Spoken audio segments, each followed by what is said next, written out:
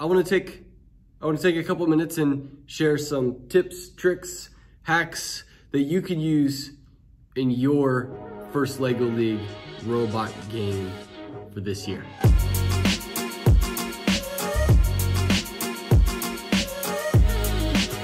The first tip is with programming.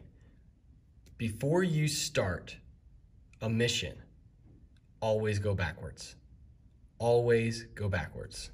So before you even leave base or home or the launch area, push your robot back against the wall. And that's in case if you accidentally misalign it like this, or you're in a hurry, we only have two and a half minutes, so maybe it's not against the wall all the way. Maybe you don't put it in, you know, at an angle, so the robot will back up and then go like, like this. Number two, always tell the robot where it's at. Let me, let me explain. You can't just like yell, hey, you're here on the map. It doesn't understand you. Let, let me, let me explain what I mean.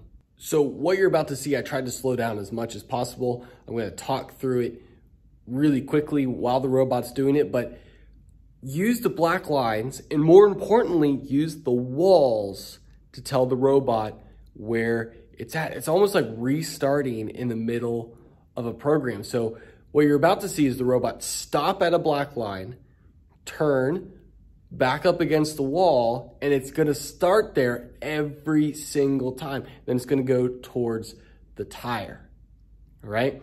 So let's, let's, let's watch. So the robot's gonna stop, start looking for the line, stop at the line, turn, back up against the wall, see the black line again, then head towards the tire.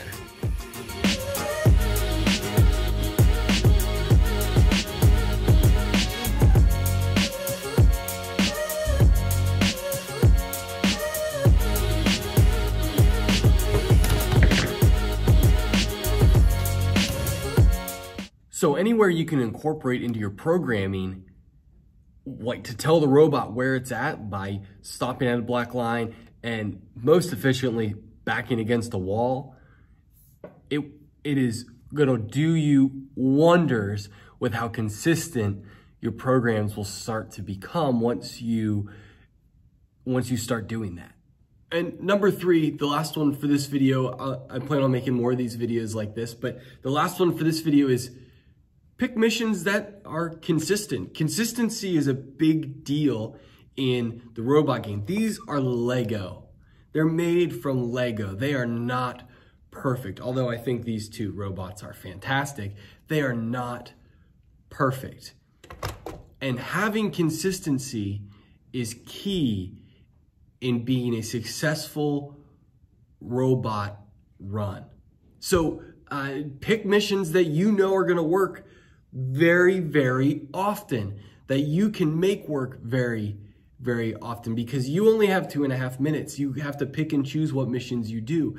And you need to choose the ones that work for you the most often, whether that's the bench, the slide, the basketball, the tire flip, the weight machine, the rowing machine, the treadmill, the, the, the, the step counter, uh, hanging on the pull-up bar. You have to figure out which one of these you can solve with the most consistency to earn you the most amount of points. I always tell students, you run it 10 times in a row, and when it works nine out of those 10 times, we, we're good you're not going to score all the points. You're not going to solve every single mission. So again, pick and choose what's going to work consistently for you to score the most amount of points on a consistent basis. I've used the word consistent so much in this video. It's because it's key. Everything that I've shown you helps you gain consistency.